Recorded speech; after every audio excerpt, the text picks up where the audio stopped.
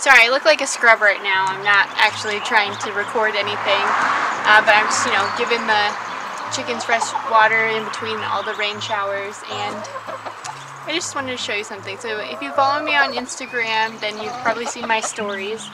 I have morels growing all up in my tulips and in my beds around here.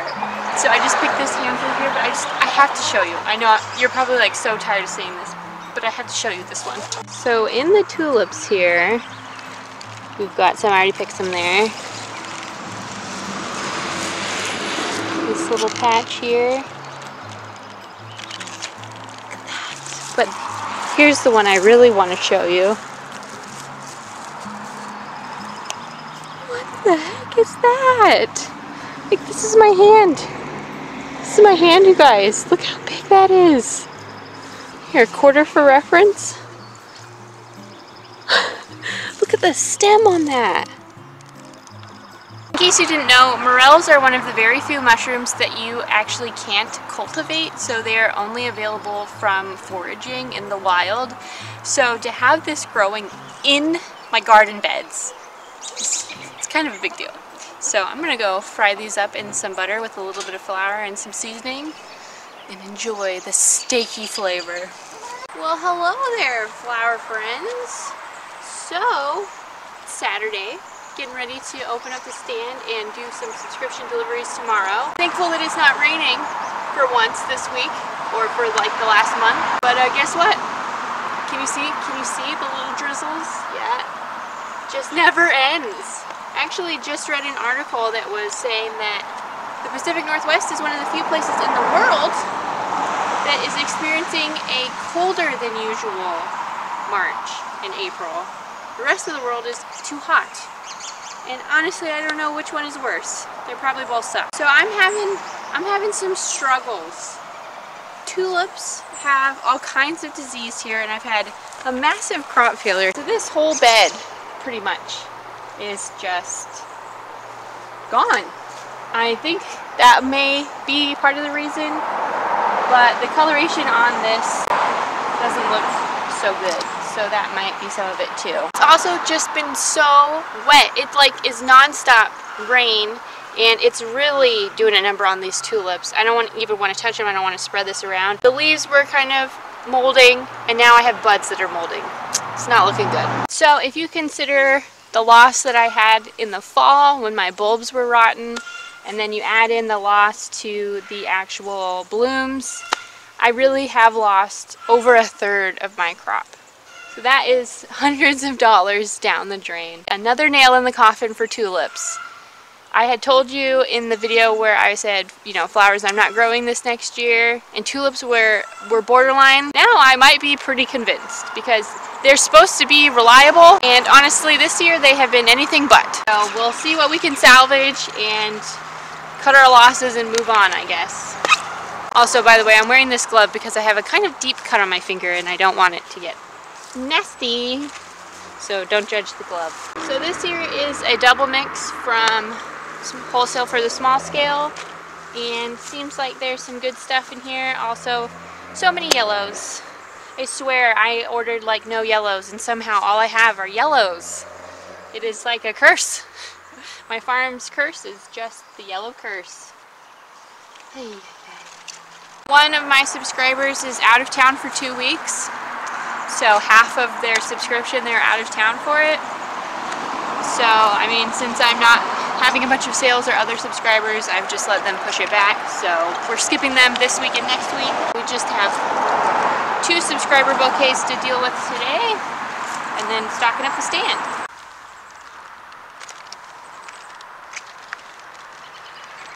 What the?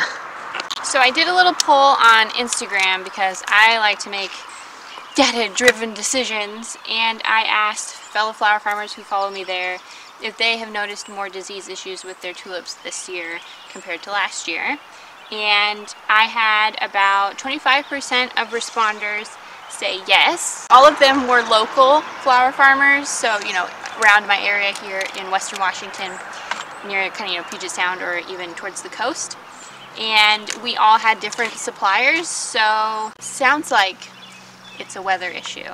And I mean, I haven't washed these off yet and that's still just water coming out. But I mean, you know, these double ones collect a lot of water. So I'm sure it's just, they're just getting soaked constantly.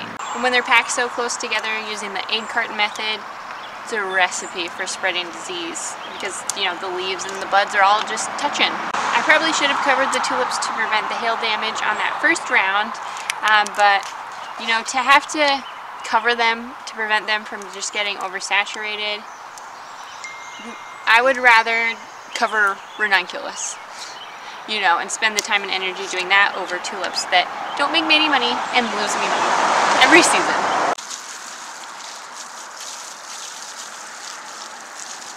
Diseased tulips in the garbage. Don't mix that into your compost. I'm trying to kind of get some aesthetically pleasing bunches, mixed bunches going on. So these nice ones that are a lot of the doubles are going to go to my two subscribers who are getting deliveries this week. So I think these will be nice. Just, I don't know what the curse is. I just am cursed with red and yellow. I really am. Uh, and then I've got three other ones that I can load the stand up with. So hopefully it'll be good. And then because we've been having such cold weather, I still have daffodils that are in the bud stage. Really almost in May. That's pretty crazy. So I think I will harvest some of those to round out the stand. And I might have some anemones as well. So we'll see on that. No ranunculus yet. I cannot wait for those. Those look nice, right? Like it.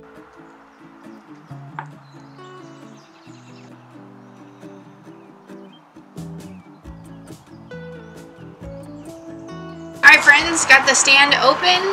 Gonna go off and make some deliveries of these beautiful double tulips and uh, hopefully we have some sales today. Sold one bunch of daffodils and two tulip bunches, so I think that's pretty decent. It was just cloudy all day for most of the day and then started raining around 4, uh, so I'm going to close up shop. We're going to just put it in here again like we did last time and call it good. Friends, it is raining. I'm going to see what I can get to finish the stand today.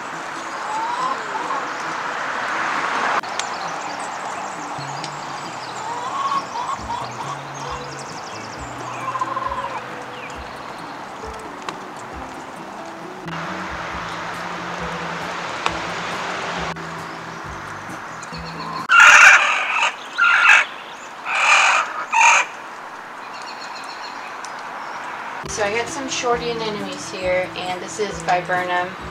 It's still in the pot that I bought last year, whoops, and I just took a couple little baby branches off, so don't judge me.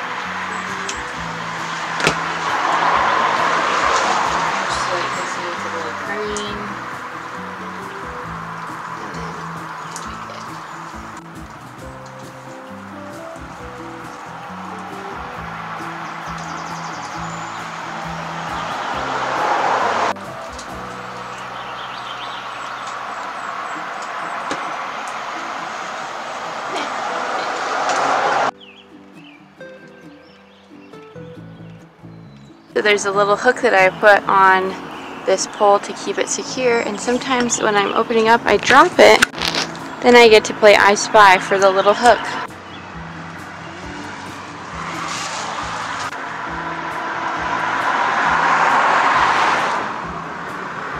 There it is.